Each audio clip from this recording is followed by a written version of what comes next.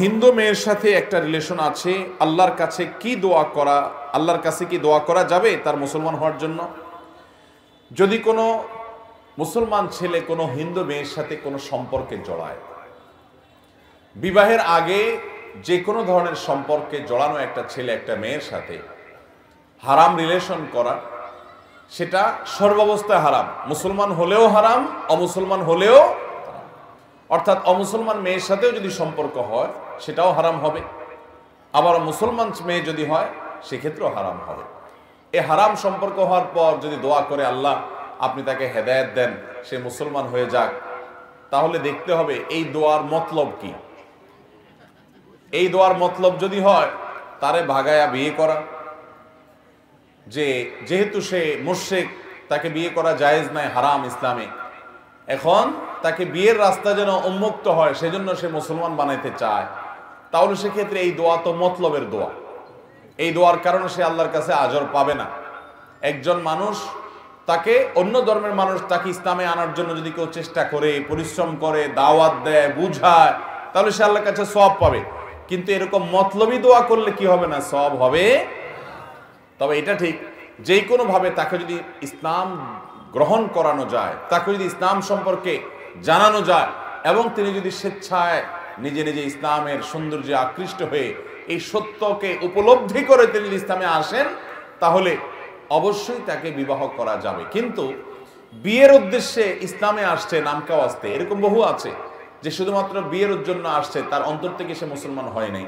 তো অন্তরের মালিক তো আল্লাহ তালা নামকা অস্ত্র যদি সে ইসলামে আসে, তাকে বিয়ে করা যাবে। কিন্তু যে আগে বলে রেখেছি মুসলমান হোক আর অমুসলমান হোক, একজন যুবকের জন্য একজন যুবতীর সাথে, একজন যুবতীর জন্য একজন যুবকের সাথে বিবাহ বহির্ভূত সম্পর্ক করা হালাল নয়, এটা হারাম।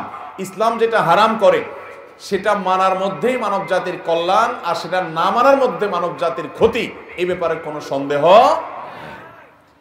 আজ পৃথিবীতে যে সমস্ত দেশে অবৈধ রিলেশন, অর্থাৎ বিবাহ বহির্ভূত সম্পর্কটাকে স্বাভাবিক মনে করা হয়, আপনি ইউরোপে চলে যান আপনি আমেরিকায় চলে যান, আপনি চায়না, জাপানে চলে যান, আপনি পৃথিবীর বিভিন্ন প্রান্তে প্রান্তে ঘুরেন।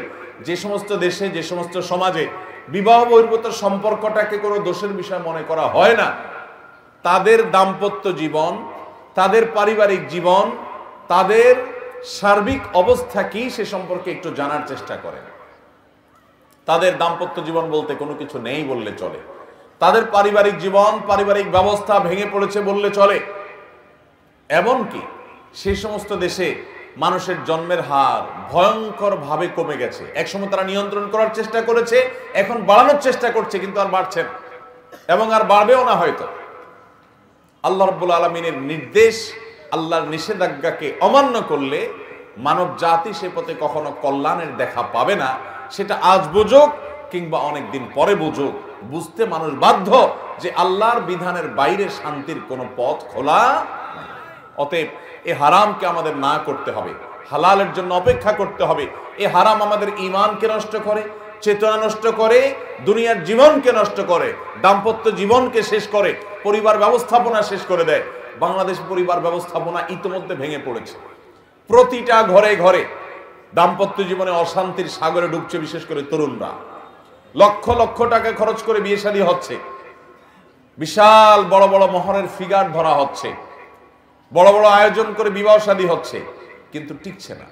বিবাহগুলো ভেঙে খান খান হচ্ছে, সংসারগুলো টিকছে না, বিবাহ বিচ্ছেদের হার বাড়ছে, দাম্পত্য কলহ বাড়ছে দিন দিন, এবং ভয়ঙ্কর একটা জায়গায় আমরা চলে যাচ্ছি। আমরা অনেকে হয়তো জানি না, এবং আমাদেরকে জানতে দেওয়া হয় না পরিকল্পিতভাবে আমাদের পরিবার ব্যবস্থাপনাকে ভেঙে ফেলা হচ্ছে, ধ্বংস করা হচ্ছে।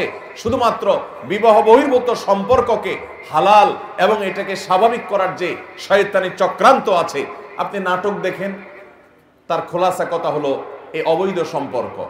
আপনি সিনেমা দেখেন, তার খোলাসা, পুরা গল্প, ঘটনা, পুরা গল্পের মূল কথা হলো অবৈধ সম্পর্ক। আপনি কীভাবে মা বাবার অবাধ্য হবেন?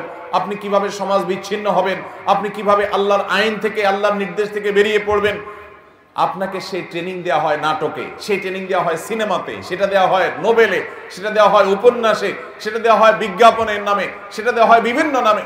আপনি এমন নাটক, এমন সিনেমা, এমন গল্প, এমন নোবেল উপন্যাস কয়টা পড়েছেন? যেখানে স্বামী স্ত্রীর মধ্যকার ভালোবাসা প্রচণ্ড, প্রগাঢ় এবং অনেক সত্য ভালোবাসা, এটা গল্পের ছলে প্রমাণ করা হয়, এটাকে অ্যাপ্রিসিয়েট করা হয়। কটা দেখাতে পারবেন?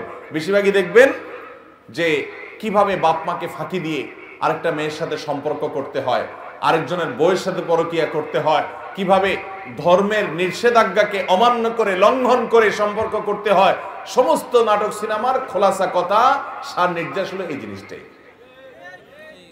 এরা কি আমাদের সমাজের জন্য ভালো কিছু বই আনছে? ধ্বংস করে ফেলছে। বাবা মারা, যারা মনে করছেন না ছেলে মেয়ে একটু আধুনিক হোক, একটু স্মার্ট হোক, অত হুজুর হলে কি চলে দুনিয়াটা? তারাই নিজেরা যখন ফান্দে পড়েন, তখন আমাদের কাছে আসেন মেয়েটা যখন আরেকটা ছেলের হাত ধরে চলে যায়, একটা অমানুষের হাত ধরে চলে যায়, অজাগায় কুজাগায় পা দেয়, তখন এবার এসে আমাদের কাছে তারা অনুনবিরণ করেন, হুজুর, মেয়েটা তো পালায় গেছে। ছেলেটা তো অমুক মেয়ের পিছনে ছুটছে, সে তো আর আমাদের কথা শুনে না। মানুষ আল্লাহর বিধানের বাইরে চললে সেখানে কোনো কল্যাণ আসতে পারে অতএব যুবকরা, পড়ালেখা করুন, নিজের কাজের প্রতি মনোযোগী হন, কেরিয়ারকে গড়ে তোলার চেষ্টা করুন। উদ্যোক্তা হন, নিজের স্বদেশকে, প্রিয় দেশকে, গোটা পৃথিবীর মানুষকে কিছু দেওয়ার চেষ্টা করুন। এবং বৈধ সম্পর্কের জন্য অপেক্ষা করুন। আপনার জীবনে একটা জোড়া আল্লাহ তালা রেখেছেন, সেটার জন্য অপেক্ষা করেন। হারামকে ডিনাই করেন, না করেন, মুসলমান যুবক, তার মেরুদণ্ড থাকবে। সে ঢিলা হবে না, ঢিলা। ঢিলা যুবক চিনেন? কারা? কোন একটা মেয়ে হারাম সম্পর্ক করতে তাকে অফার করছে, সেখানে চিত হয়ে গেছে কাইত হয়ে গেছে। শরীর ছেড়ে দিছে। তার কথা তার পিছ পিছ হাঁটা ধরছে। এর বলে ঢিলা যুবক। আর মেরুদণ্ডওয়ালা যুবক চিনেন? মেরুদণ্ডওয়ালা যুবক বলা হয় সেই যুবককে, যে যুবক হারামের অফার পাওয়ার পরও শক্ত হয়ে ঠায় দাঁড়িয়ে থাকতে পেরেছে। হারামকে না বলতে পেরেছে। তার শক্তি আছে, তার অবস্থান আছে, নীতি এবং আদর্শের মধ্যে তিনি অটল আছেন। তিনি হারামকে না বলার মতো শক্ত অবস্থানে যেতে পারেন। এটাকে বলা হয় মেরুদণ্ডওয়ালা যুবক, সাহসী যুবক। আমাদেরকে সেই সাহসী যুবক হতে হবে। আজ এক শ্রেণি মিডিয়া আমাদেরকে প্ররোচিত করে আমরা যত নোংরা হব, আমরা যত অশ্লীল হতে পারব, আমরা যত আমাদের মেয়েরা যত খোলামেলা দৃশ্য অভিনয় করতে পারবে, যত রকমের ন্যাক্কারজনক কাজ করতে পারবে, সমাজে যা নিষিদ্ধ, ইসলামে যা নিষিদ্ধ, ধর্মে যা নিষিদ্ধ, আমাদের সৃষ্টিকর্তা যা নিষেধ করেছেন, যেটাতে আমাদের ক্ষতি আছে, এই কাজগুলো যত বেশি করতে পারে, তাদেরকে সাহসী উপাধি দেওয়া হয়। তাদেরকে বলা হয়, এরা নাকি সাহসী।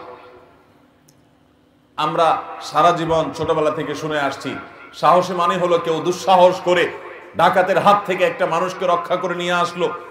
একটা মানুষকে খুনির হাত থেকে রক্ষা করে খুনিকে ধরে দিল। একে বলা হতো সাহসী। এখন সাহসীর সংজ্ঞা আমাদের অনেক মিডিয়াগুলো পাল্টায় দিচ্ছে কোন মেয়ে কাপড় চোপড় সব খুলে ফেলে, সে অভিনয় করতে পেরেছে, ছবি তুলতে পেরেছে, তখন বলা হয় মেয়েটা সাহসী অভিনয় করেছে। এখন সাহসের সংজ্ঞা হলো উলঙ্গ হয়ে যাওয়া। এখন সাহসের সংজ্ঞা হলো যত রকমের নোংরামি করা যায়, তার একেবারে অতল তলে হারিয়ে যেতে পারলে তাকে বলে সাহসী। তো কি আশা করা যায় আমাদের সমাজ থেকে? এই জন্য যুবকরা, আমরা প্রকৃত সাহসী হব, প্রকৃত মেরুদণ্ডওয়ালা যুবক হব, সমস্ত যুবক হারাম সম্পর্কে জড়িয়েছে, আমি জড়াবো না। আপনার জীবনে আপনার এই সকল ভালোবাসা, সকল আবেগ, সকল প্রেম, এগুলো উপস্থাপন করার মতো একজন মানুষ আসবে, একটু অপেক্ষা করেন। সকল ভালোবাসা তাকে উজাড় করে দিবেন এবং দাম্পত্য জীবনে সুখী হবেন। এখন দাম্পত্য জীবনে সুখ না আসার অন্যতম কারণ হলো এটা। অন্যতম একটা কারণ হলো এটা যে অজাগায়, কুজাগায় ভালোবাসা খরচ করে জায়গা মতো গেলে আর ভালোবাসা হাতে পায় না। সব খালি হয়ে গেছে। ওই জরিনা, সকিনা যেটারে যেখানে পাইছে, ওখানে একটু দিছে, ওখানে একটু দিছে পিছে একটু ঘুরছে বিয়া টিয়া।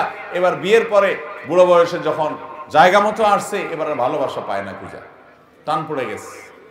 অতএব হারাম সম্পর্ককে না করব তো ইনশাল্লাহ মনে রাখবেন, এই হারামের হাতছাড়িকে না করতে পারা, এটা হলো সবচেয়ে বড় মোত্তাকি যুবকের আলামত। যুবক নামাজ পড়ে, যুবক দাড়ি রাখে, যুবক কোরআন তেলাওয়াত করে, এই কাজগুলো যত কঠিন তার চেয়ে বহুগুণ কঠিন হলো একজন যুবক, হারাম দেখে না, তার চোখকে সে অবনত করে আল্লাহর ভয়ে। কেয়ামতের ময়দানে তাকে দাঁড়াতে হবে, জিজ্ঞেস করা হবে যৌবন সম্পর্কে। সে সেই ভয়ে সে নিজেকে নিয়ন্ত্রণ করে রাখতে পারে। হারামের অফার আছে, সেটাকে ডিনাই করতে পারে। এই যুবক, এই যুবকের এই কাজটা হলো সবচেয়ে বড় সাহসিকতার কাজ, সবচেয়ে বড় কঠিন কাজ। আল্লাহ আমাদেরকে সেই কাজটা করার তৌফিক দান করুন। সামান্য একটা নারীর অবৈধ সম্পর্কের অফারকে যদি আপনি বা তার সৌন্দর্যকে যদি আপনি ডিনাই করতে না পারেন, আপনি কীভাবে দুনিয়ার সকল বাধা ডিঙ্গিয়ে আপনি মুসলিম জাহানের সফলতার জন্য কাজ করবেন? কীভাবে? আল্লাহ তালা আমাদের সবাইকে সেরকম মহানায়ক যুবক হওয়ার তৌফিক দান করুন। এই যুগের মহানায়ক যুবক তারা, যে যুবকরা এই হারামগুলো থেকে নিজেদেরকে বাঁচিয়ে রাখতে পেরেছে। আমাদের যুবক ভাইদের কষ্ট আমরা বুঝি। তারা কলেজে স্কুলে যায়, তারা ইউনিভার্সিটিতে যায়, তারা কর্মস্থলে যায়, তারা যেখানেই যায়।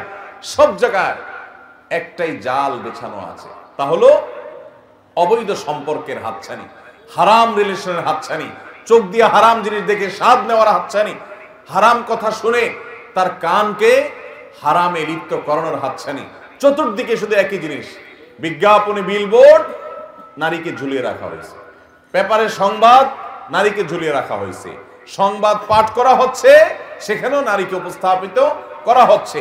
কোথাও যাচ্ছেন রিসেপশনে বিসমিল্লাহ যার সাথে কথা বলবেন, নারীকে সেখানে সাজিয়ে গুছিয়ে রাখা হচ্ছে।